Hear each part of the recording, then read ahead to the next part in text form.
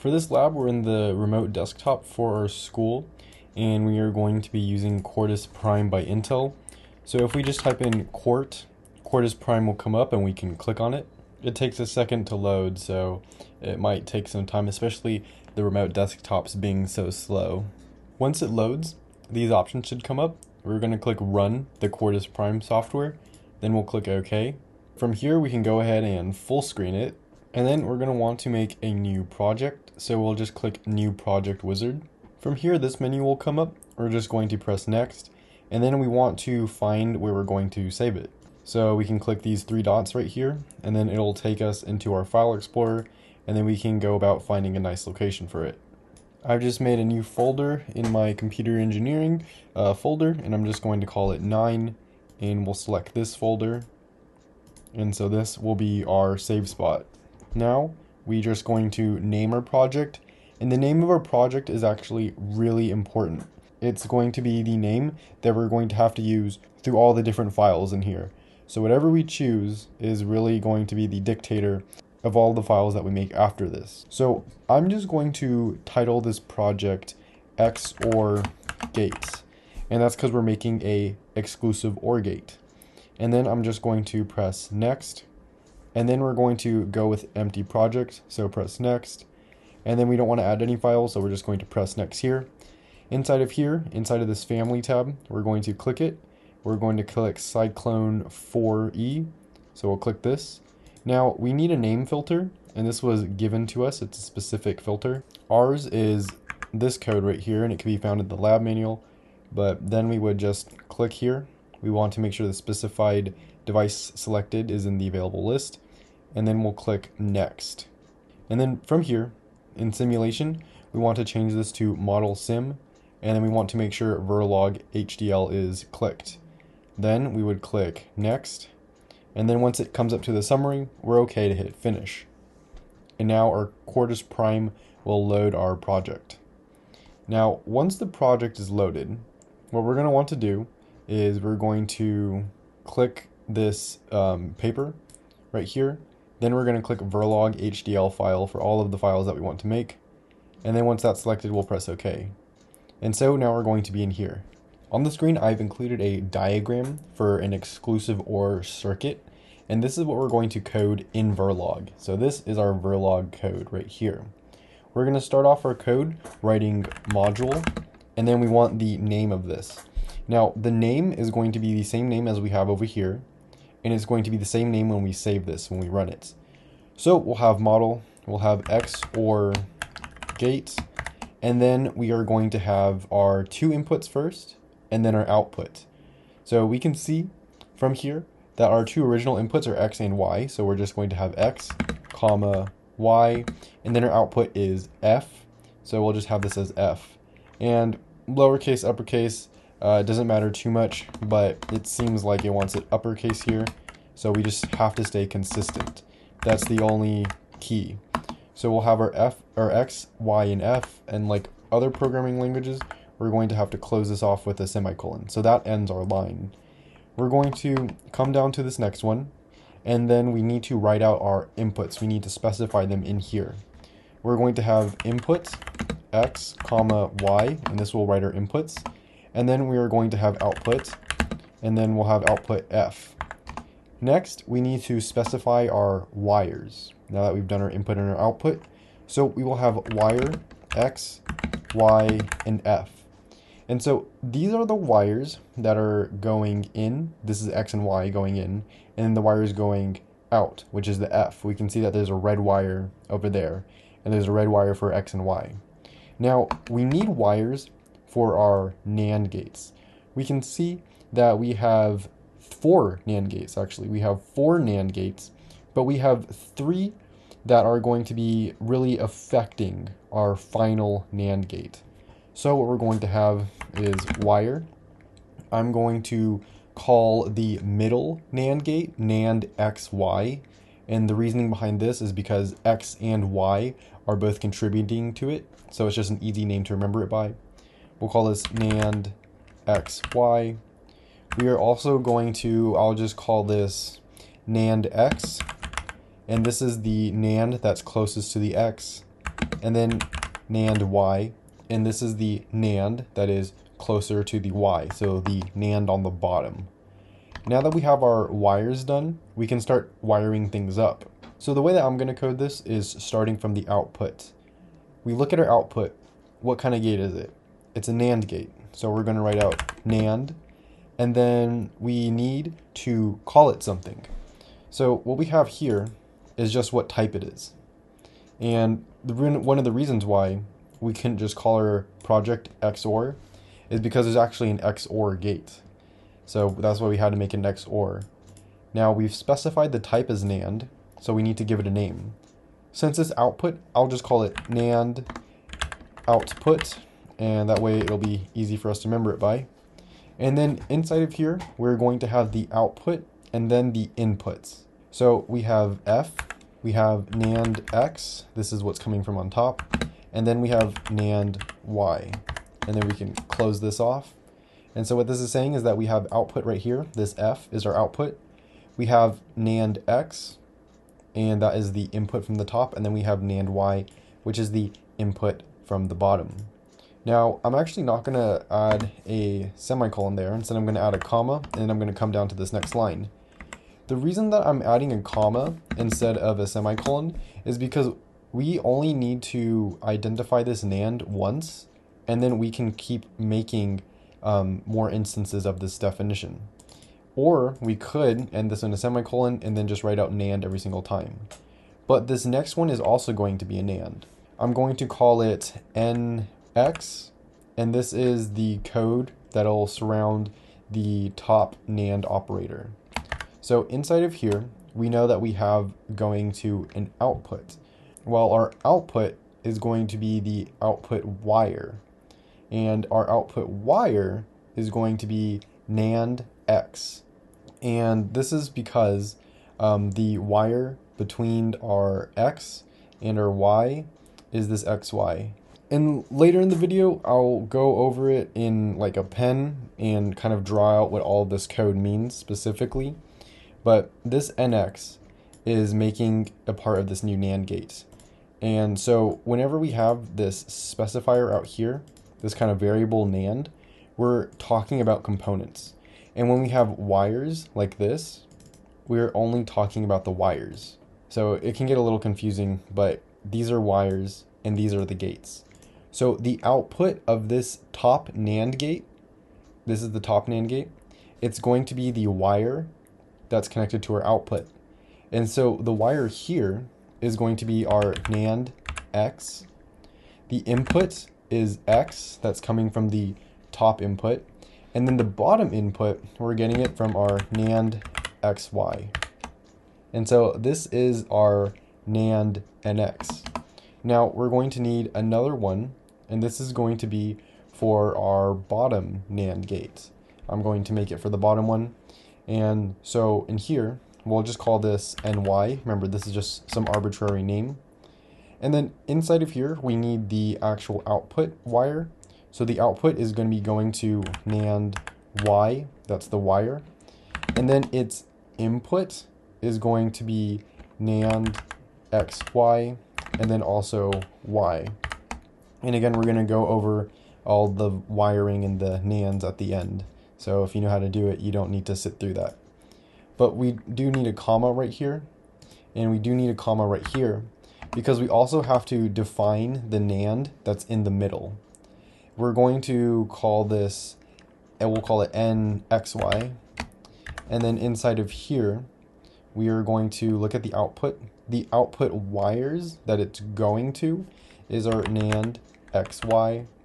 Our inputs are just X and Y. And so that's going to end that. We've finished our code, so we can come down here. And now all we need to do is label an end module. And then we can attempt to run this. So we're going to come up to this start compilation. And then we're going to click it. It's going to say that it's been modified. Do you want to save it? We would click yes. And then it would bring us to our file folder right here. We want to make sure it's the same title right here as it is right here and as we've titled it behind the module. So we'll click save and then it will save it and now it's going to run these tasks. Now we've gotten some errors here and we can go ahead and look at them. We can see I didn't include a semicolon here, so I would have to come in here and fix that. And we have some more errors, and that's because I did not capitalize these. So these inputs and these outputs were never initialized because they were all lowercase and we have them as capital up here. So we're going to have to change all of these to be capital, and that's super important because we never initialized the lowercase, uh, we only initialized the uppercase up here. So now we've fixed those errors. Oh, these should also be fixed because these are going to be based off of our initialized um, variables right here, x, y, and f. So now with all those fixed, we can try running it again and click yes.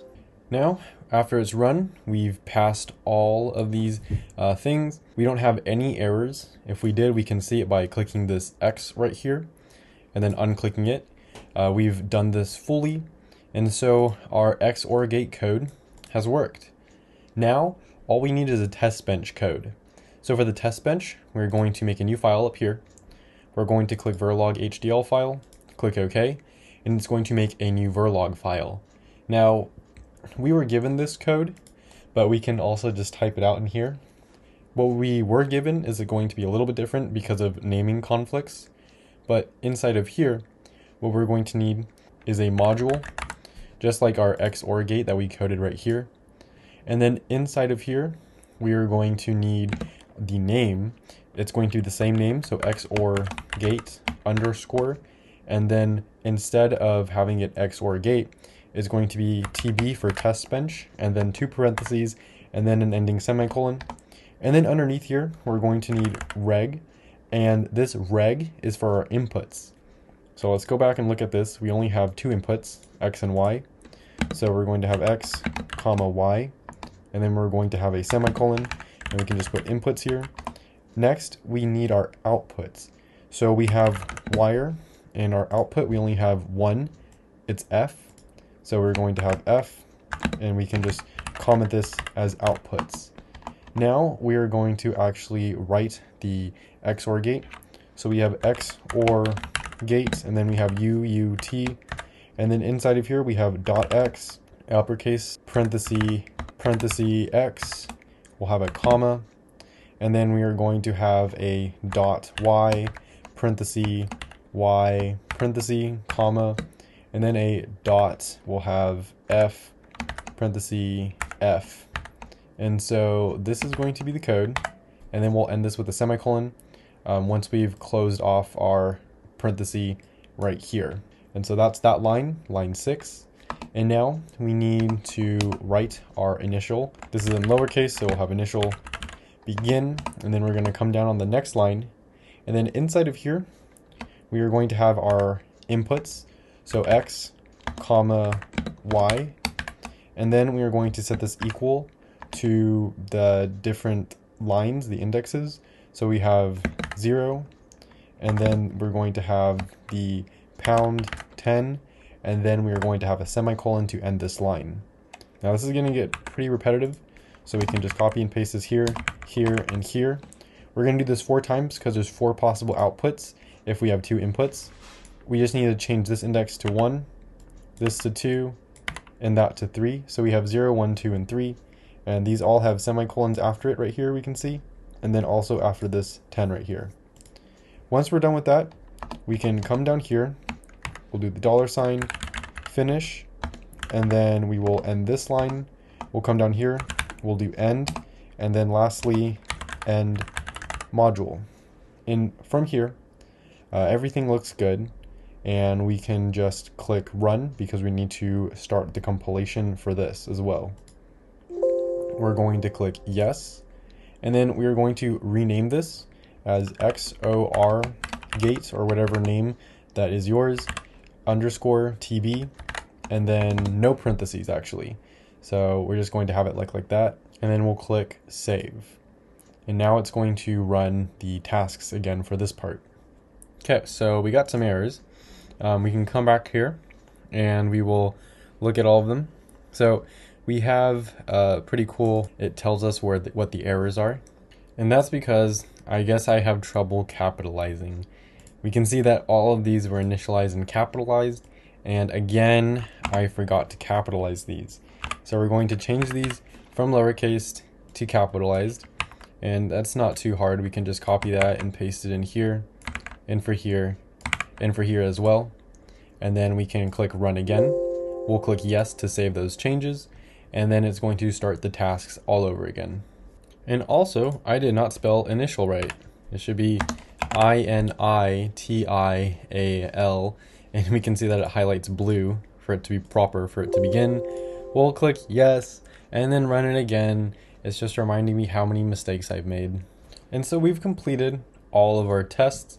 Everything works finally. I no longer have any grammatical errors in the code. Now from here, we're gonna go back to our XOR gate right here. We're then going to click tools up here.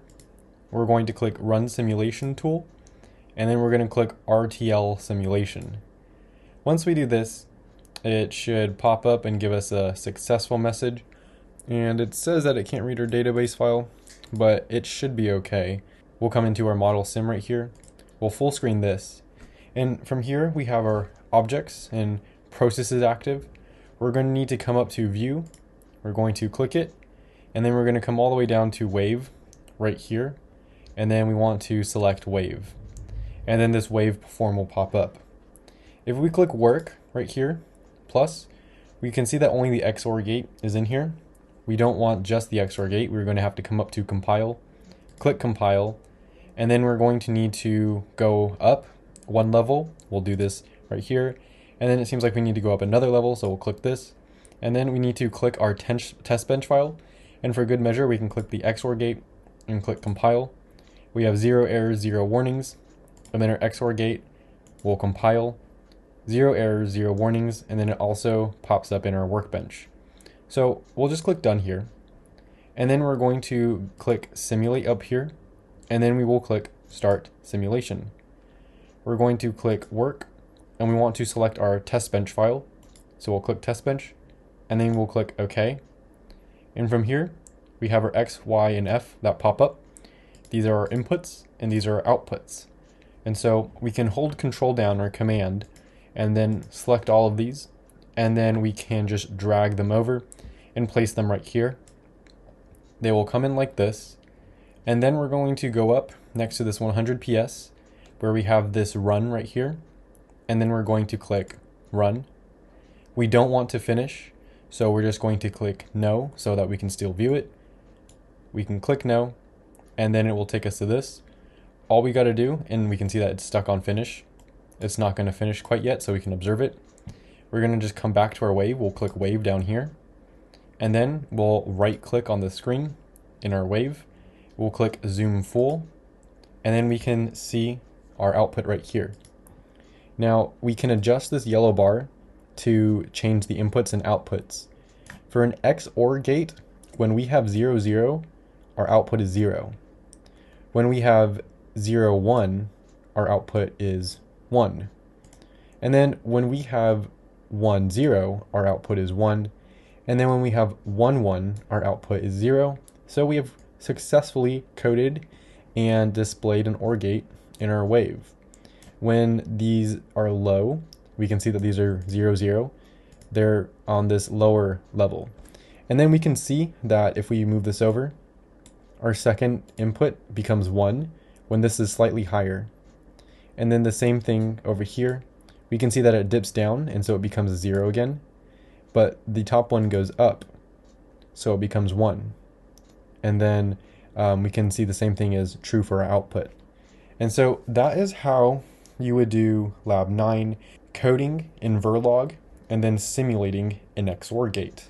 In our lab, we have these um, inputs. These were the inputs that I'm talking about when we do our truth table. And then this is our output. So they're inputting into our output. So that's what we would make a truth table for. And now we're going to actually explain this code. So in the first line, we are just initializing these things. We're initializing the X or.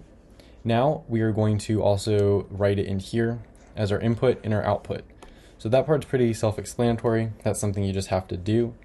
And then from here, we are declaring our wires. So x, y, and f are our wires.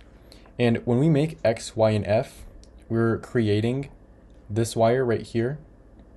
We're creating this wire right here because we, it's a part of x. We're also creating this y wire and this y wire.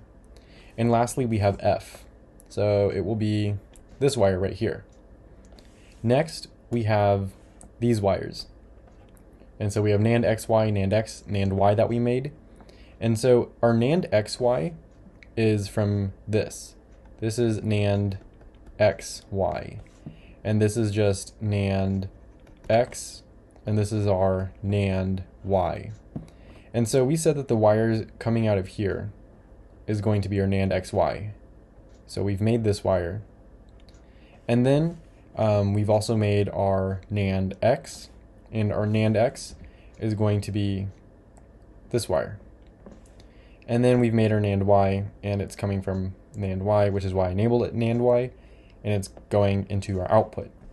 So we have these wires all covered now. So we don't need to make any more wires. And we can go into the actual coding part.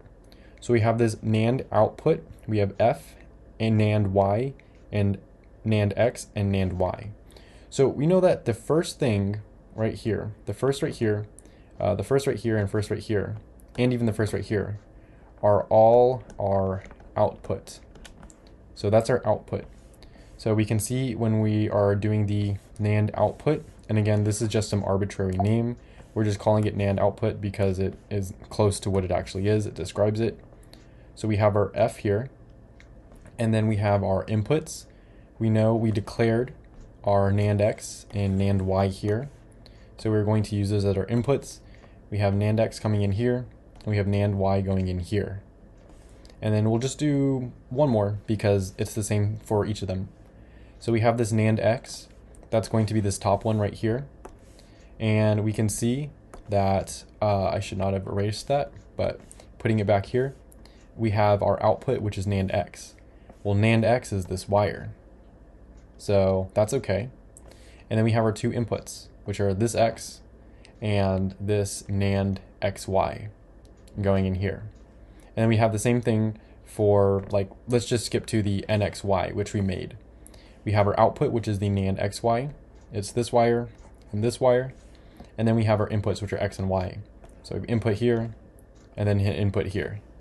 And that's explaining the actual methodology behind this code.